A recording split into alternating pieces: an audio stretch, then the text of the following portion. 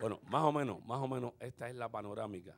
O sea, hay otras cosas que podemos seguir añadiendo y hablando aquí ahora, pero lo importante es que ustedes entiendan esto de la timba, que es un nuevo movimiento que existe y que, y que, y que se enteren bien de lo que está pasando.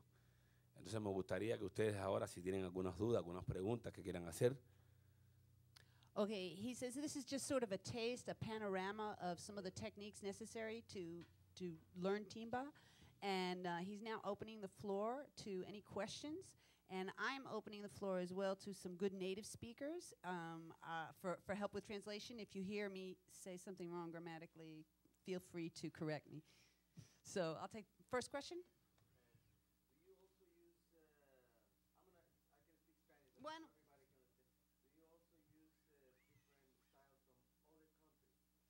Eh, quiere, quiere saber si tú utilizas ritmos de otro, otros países también en la bomba o solamente son patrones que vengan de la música afrocubana. No, no, no. O sea, yo creo que, que la, que la música es una sola. Y todo lo que, lo que tenga sabor y, y se preste lo usamos. Hay cosas brasileras, cosas puertorriqueñas, donde quiera. He says that uh, good music comes from all over the world. And uh, they listen to it and appreciate music from everywhere. And whatever patterns that they enjoy, they bring it into their music as well. Lo que la esencia, la esencia es cubana, con nuestro ritmo. He says, but the essence of the rhythms, of course, has a Cuban identity.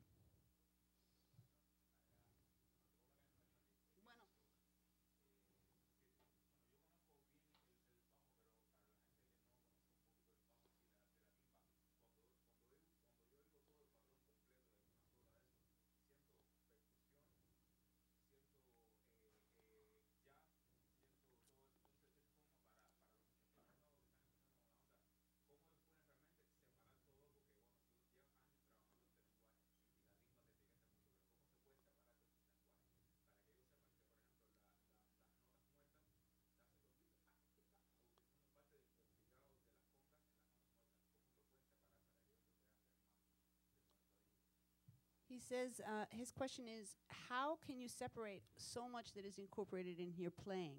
Um, he's familiar with timba and he can hear that all these techniques we were talking about are a fusion of jazz stylings and a fusion of drumming styles and a fusion of son all mixed together into this one big beautiful sculpture.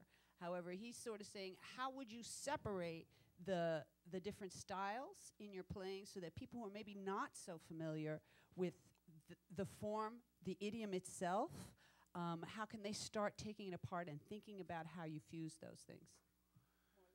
Precisamente, precisamente lo que, no, lo que queremos es no separarla.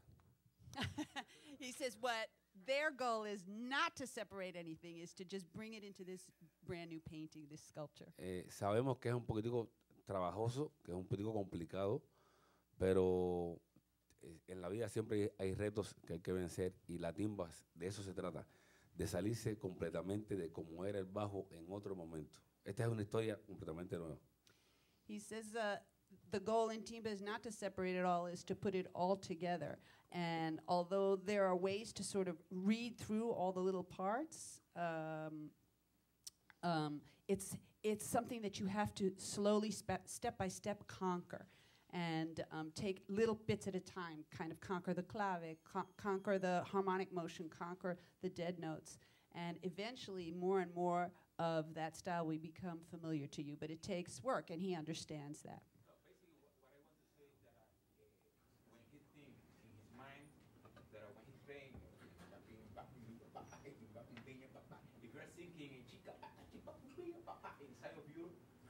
uh, pensando dentro de ti, secreto para la juventud. De, de, de hecho, cuando empezamos hace alrededor de 25 años, o un poco más, cuando empezamos con este movimiento de la timba, eh, yo empecé a recibir muchas críticas. Okay, uh, he was deepening the question. He was asking what exactly goes through your mind when you're playing all these really interesting patterns. And um, Feliciano was saying was when that music was being formed, it was being created.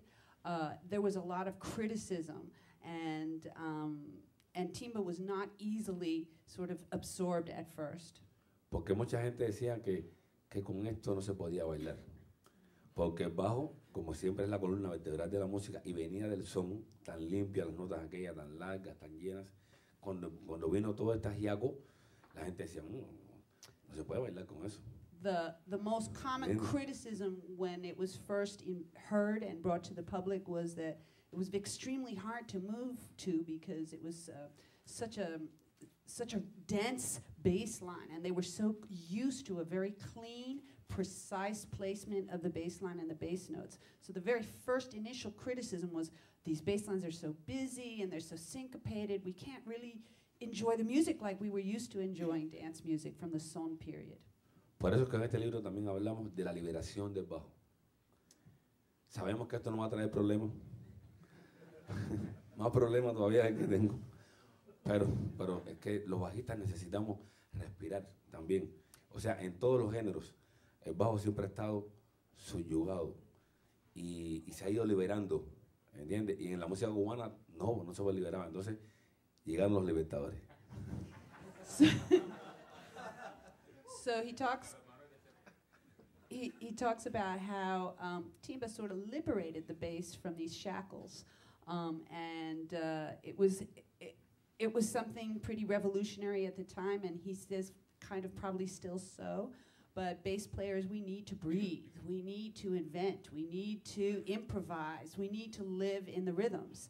And uh, the timberos were brave enough, and Feliciano was like the father of doing that and just kind of put himself out there and and and shared all of that knowledge and put it in the music. I'm wondering how uh, you think this music i can survive and can outside of Cuba and that culture of where people know the, the bata rhythms and that dance culture as well. It, Well, it seems difficult, you know, in the U.S. where we don't have that that same culture uh, to sort of get access. to this. Well, I'm going to interject before I even translate for Faley, and I'm going to say that this is why you're so fortunate for these programs. And this is kind of what we, me as an individual, Feliciano and his and his family, really want to bring the music to everybody's living room on some level. Um, and this is the goal of everyone in this room. Uh, and great thanks to Berklee. I mean, Berklee has saved you. For me, it took 10 years, you know, of, of figuring out a way to get there and studying and saving my money and being broke and running into all kinds of things. But here you have it at your doorstep because the intention is the same. We want to start sharing all this beautiful music that's being done all over the world. Um, la, la pregunta fue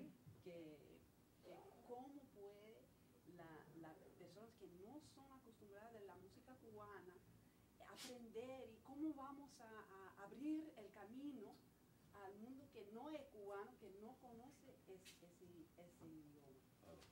Por eso, por eso es que en, en el libro este hay alrededor de 30 páginas. Cuando empieza, este es un libro de timba y hay 30 páginas de son, hablando del son, que el son es una estructura muy fuerte, más tranquila, muy entendible y es el paso a la timba. O sea, no vas a ir a la guerra sin el arma, ¿no? O sea, primero te preparas con el son, te preparas y después que empiezas a evolucionar. Um, he, he said the goal in our book was precisely that, to somehow find a way to translate. And really, it was about me being thoroughly confused at every lesson and going, just how do you do that? How do you do that? How do you think about that? And we started. I had played. I had played Latin music, and we started with with son, something that I knew. And in our book is pretty much the documentation of that journey of being thoroughly confused and then fighting hard, talking a lot, figuring it out, and then we documented it. So, you know, we know the struggle and we are here to to ease the struggle for everyone who's not familiar. That's what the goal is. Pregunta, pregunta, pregunta. Ask me, ask me, ask me. Eh, entonces, mira, tu recomendación sería que todos los instrumentalistas o bajistas, quien sea, que no están muy familiarizados con esta música, tienen que aprender mucho solo del instrumento que quieran tocar, pero de la percusión. Eh, Claro. Claro. Uh, the audience member's suggestion, which was a sound one, was um, any instrumentalist um, should, in order to really understand this music, needs to not only, even if they play saxophone or trumpet or piano, uh, would probably need a really good knowledge, foundation knowledge of percussion. And I couldn't, I couldn't, I couldn't um, emphasize that more. My actual before I was working with Faley, I met Eugenio, and I studied percussion with him two weeks. Never want to play in public, God no, but just to get that foundation, and it's a great suggestion to start. Una, una de las cosas que aprendemos cuando empezamos a estudiar música es a escuchar a los que están con nosotros traba- trabajando, ¿no? O sea, es imposible hacer, tocar y no, no saber lo que hace un batería, lo que hace un tumbador. Entonces, si conocemos lo que está pasando a nuestro alrededor, entonces es más fácil lograr, o sea, lo- lograr la cohesión entre los músicos y si se trata de música cubana, bailable sobre todo, lograr el sabor entre todos. Y cuando el público ve que tú estás gozando, ellos también gozan. Entonces hay que aprender todo lo que se puede aprender de afuera, que eso nos enriquece a nosotros. Okay, he says uh, it's, it's kind of every musician's responsibility in the group to really understand what's going on in the drums. Not necessarily be able to play it, but to understand what is going on, the language, the conversation that is going on, and then to enter the conversation as, as whatever your instrument needs, your instrumental needs are. But he feels that it's kind of a basic requirement that you know the, the language, or at least the patterns, the beginning patterns. También pasa una cosa, si nosotros hubiéramos tenido esta gran oportunidad que, por ejemplo, que nos ha dado ahora la dirección de música de Berkeley, el señor Larry Simpson, el señor Neil, Neil- Leonard, de, poco a poco eh, mostrar lo que, lo que hacemos, hubiera sido más fácil. Pero ¿qué pasa? Que han pasado años de música cubana y esto se va complicando. No es nuestra culpa, tenemos que evolucionar. Entonces, tanto se ha complicado que ya no estamos ni con la tumbadora, estamos ahora en las protimbas. Seguimos para allá.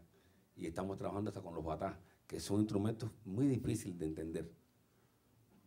Okay, he, he wanted to say uh, that the directors of this program have brought them here for this precise reason to start introducing things. Um, and it's, it's kind of 10 years behind in terms of what is going on in Cuba now. They have, they have progressed so far from this place, but this is the place to start. And uh, right now, the, the Cuban language in terms of percussion has moved to bata and has moved to afro afrotimba, infusing more and more. But uh, these programs and these wonderful things that are happening, kind of the doors are opening up in this country more with Cuban music, and this is the place to start. Por supuesto, esto no es obligatorio. Of course, he understands this is not a requirement. O sea, en Cuba y en el mundo hay música de bailable de la nuestra muy sencilla y muy buena. Said uh, in Cuba and also all over the world, there's beautiful music being made that's actually a lot simpler, and No he's no aware of that. No hay necesidad de llegar a este extremo. You actually are, you don't have to enter into this uh, uh, training camp. It's like the boot camp. Pero, pero el que quiere, como el que quiere se- seguirse superando, se sigue superando. Es como, como los improvisadores, eh, improvisan aquí y allá, las armonías son más complicadas cada vez. Y la gente sigue, sigue. Hay quien quiere quedarse en un estilo y se queda ahí y también es feliz. Uh, he said it's certainly not required, the boot camp. However, it's about the growth in music and the desire to grow for music in general and individuals personally.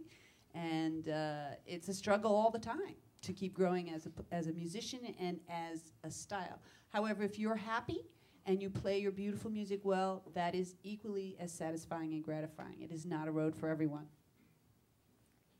Dime, sobrino.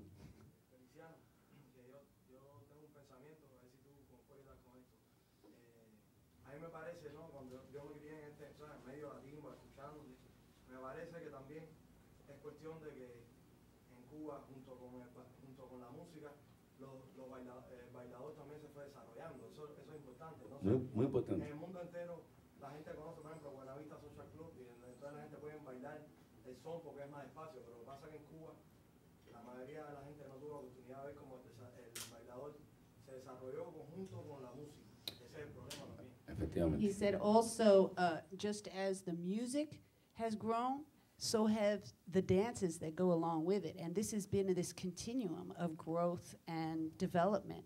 So not most people can now easily kind of dance the basics movements of son. It's pretty it's it's pretty it's pretty universal now. You could probably go to a lot of places in the world, but in Cuba, the dance and the music has grown equally in parallel.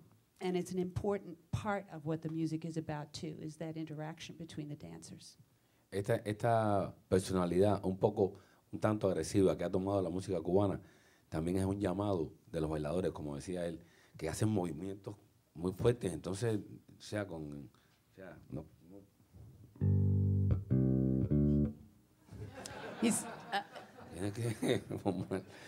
he's saying that the aggression of the music is also something that was demanded from the dancers as dance movements began to change and grow they didn't want to move in those softer smoother lines they really wanted to sort of move in these more aggressive lines and so the command came from both art forms the music and the dance Y otra cosa muy importante, que eso pasa en, en todo, es como un compositor. O sea, si, si, no, si, si no empiezas compo- componiendo un concierto, una sonata, algo así, o sea, pasar directamente a la música electroacústica sería una cosa sin pasar por esos detalles, ¿no?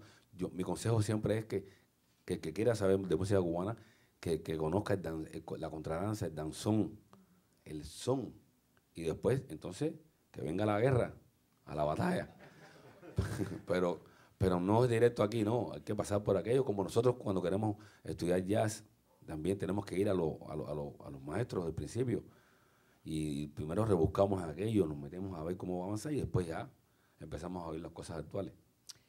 He said, you know, it's not required to just jump into this. He says it's important to actually sort of start from those very basic steps from son and danzón and be familiar, not necessarily be able to play everything, but be very, very familiar and be happy to start with those steps um, and before just like warring against something that's so difficult. And um, he said they, as Cubans, had to sort of do the same backpedaling in order to absorb jazz. They had to start with the very, very, very early simple jazz, which was very foreign to them. As foreign as jazz was to them, and they have learned through the years, they understand that road. And they say you start, you start from what you can absorb, and then you grow from there. Ahora, ahora para, para cerrar más o menos esta linda conversación que hemos tenido, vamos a tocar un poquitico con, con los tambores batá, algo sencillo, para que ustedes vean toda la ritmática que nos brinda, que el maestro sí lo sabe, la riqueza de los, de los tambores batá y, y cómo nos vamos fundiendo poco a poco con esta música afrocubana. Uh, he wants to sort of close the session with uh, some more sharing of the music, and he's going to incorporate the bata and the timba and the things we've talked about. Um, and that's all. So if there if there's any more questions, we're also selling the books. Um, if you'd like to take a look at them or buy them, they're, they'll be available at the end, along along with some CDs of Los Hermanos Arango. So I leave you to the music.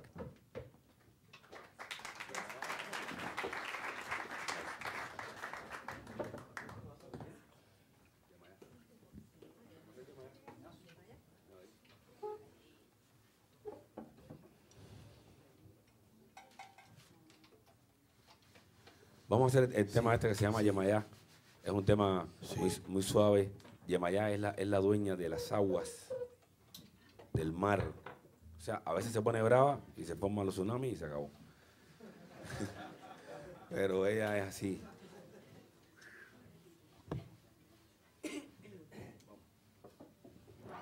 Sí, sí. Yamaya tendere la moro ye maya dendere abo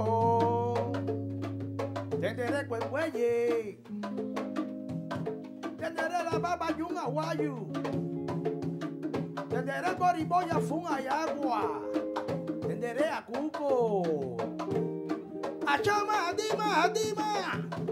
Y para fungo loyu y lo dare guanaye un elede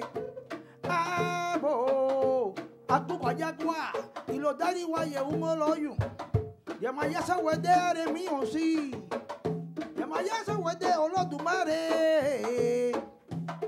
yemayalagba lagba alagbalagba lagba yemajaje nílé yẹlódò akérèyálùmá odùnàkọta elégbè ogunmayẹlé odò òkìtì àbámbà ányà. yémaya ọlọ́dọ̀ ewé mi kí ìyá yémaya. Òkú o, yàrá yàrá máa o. Yàrá omi.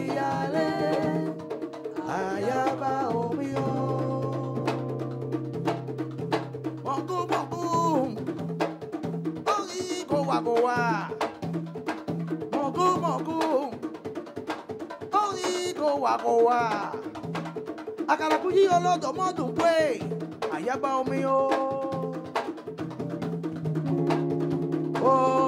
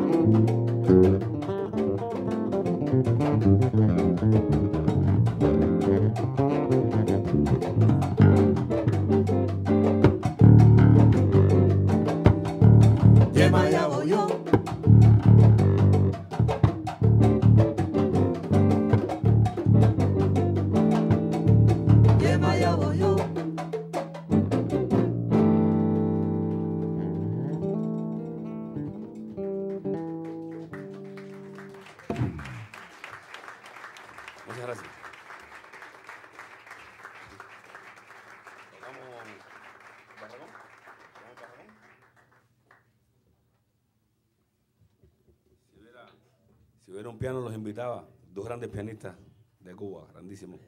Pero no hay piano.